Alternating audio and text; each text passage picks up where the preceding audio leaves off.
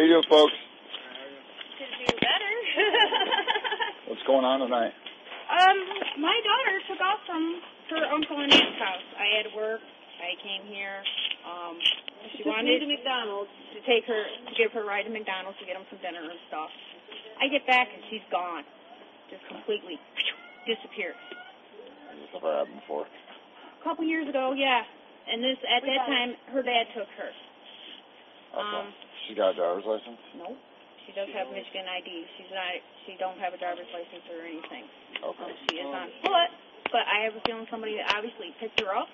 Probably. It's Friday night and it's 10 o'clock. Uh, Yeah. So we have a picture of another guy that I've been hanging out his name is Shane. And I just found out this kid's 19 too. Yeah, this is he took. this She, is the they told me that guy. he was se- he was 17. but he's actually 19.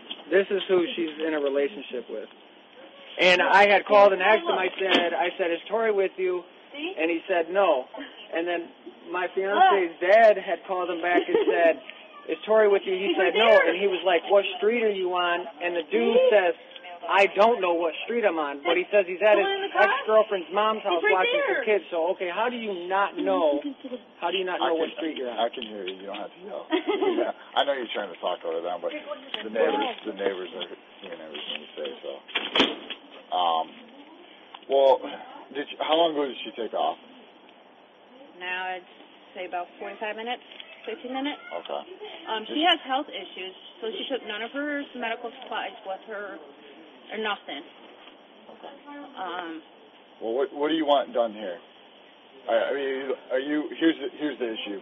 Can I file her as a runaway? Because Yeah, since we- this has been an issue before, I would like something done with her. I can't keep doing this. I'm a single mom trying to, you know. Where did she Where did she leave from here? Yeah, she left, here. she was on she was on my back porch on her phone, and like we went back there to make sure she was back there because uh, she got all dialed up today. She took a shower at 12 o'clock today after she was talking to the dude that I just showed you on the She phone. didn't go to school. Huh? She didn't have school today. She They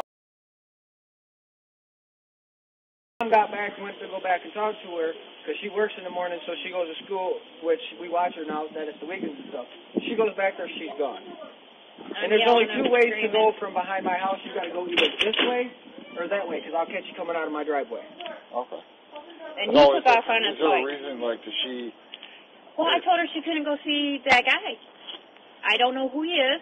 He's been over here a couple times. Dustin, they met him. They said he was a good kid. He seemed up the up, you know. He told me, I was told that he was 17.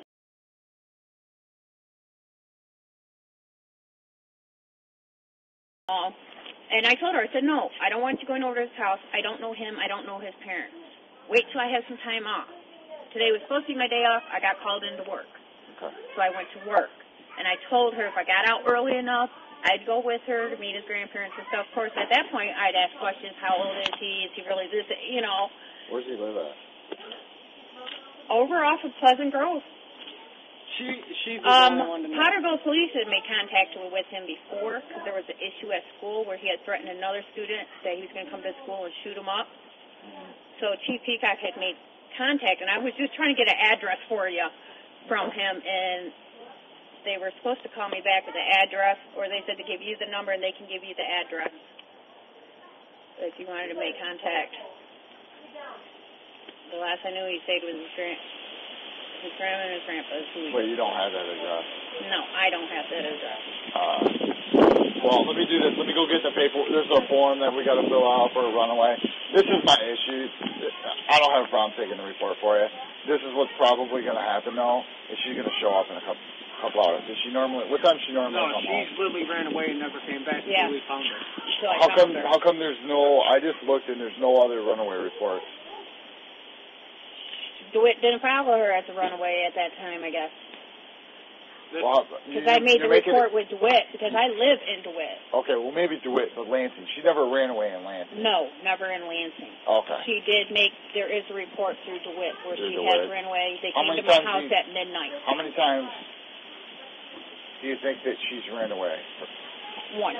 That was the very first time. That's when her dad took her. Came to my place, picked her up, and took her. Okay. That's why I'm having a feeling either it's the Shane kid or she's back with her dad So there's a chance she could just be with her dad. Right, which he's on the run. He has a PR five Yeah, thousand you guys dollar are bond. He he yeah, you guys are already looking for him because he made a hit and run for Hmm. drunk driving. Yep. He's already on What's the his name? Thomas Herbst. Where's he live at? Uh, He was living on Douglas with his mom. But my mom and him kicked him out after he had was drunk driving and smacked the truck and made the truck roll. That happened Over right there up- off of uh by um I know. it's- What street does Crystal live on? I have No. Uh, Trailer park? no, it was off a street off of Martin Luther King there, past Mary Street. Um, it's one of the little side streets there. South Ridge. South, South Ridge. Ridge.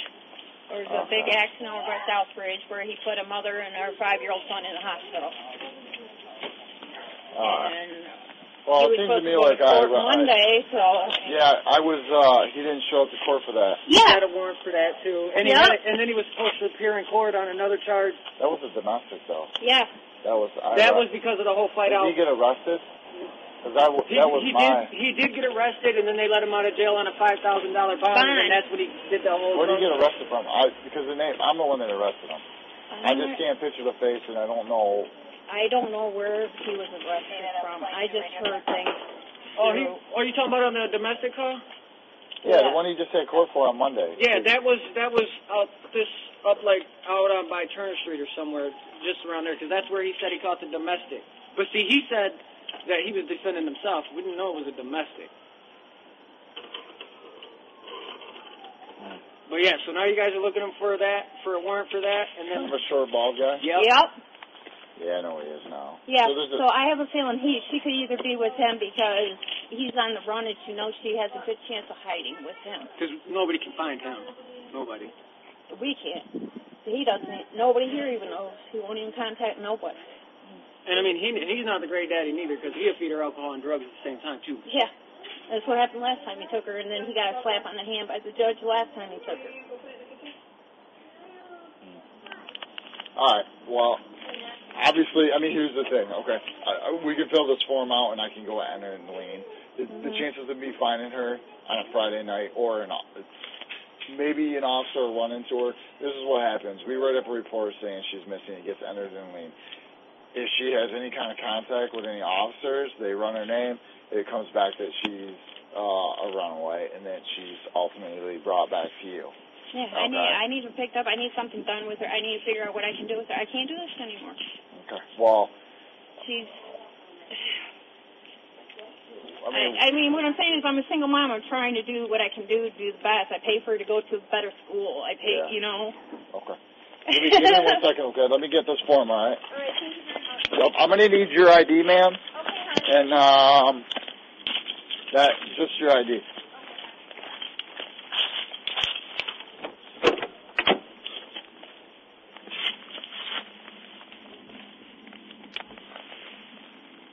Thirty-four out of twenty-six.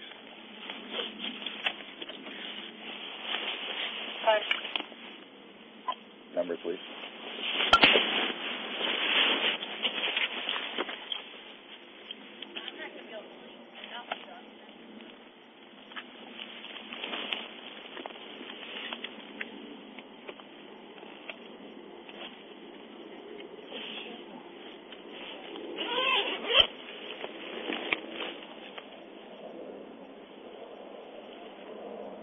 Your incident has been updated. Zero two nine five seven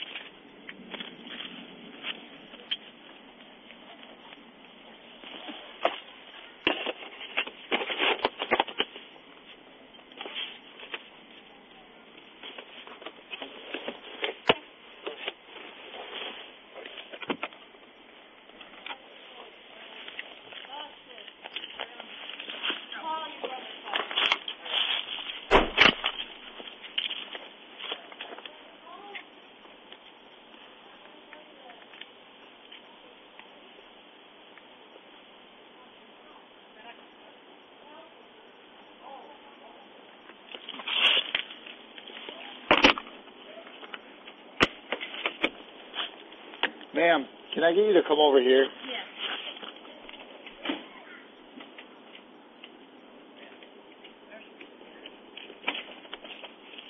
So, he's out over by the his area.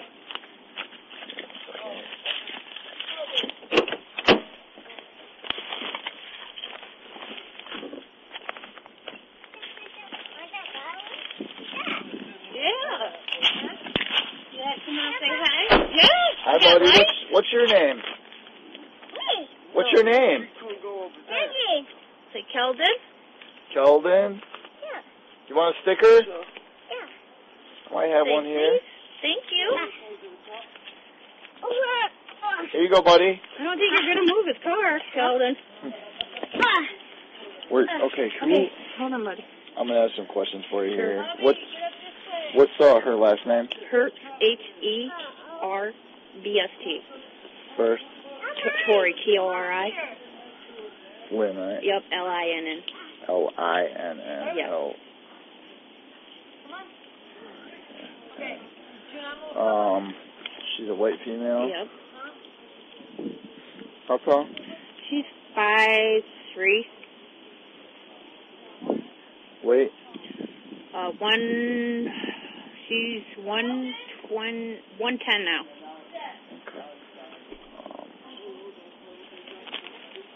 Um, her most distinctful figure right here. um,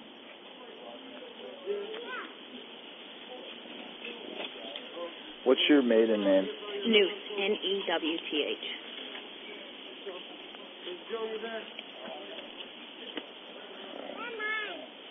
What's what's her?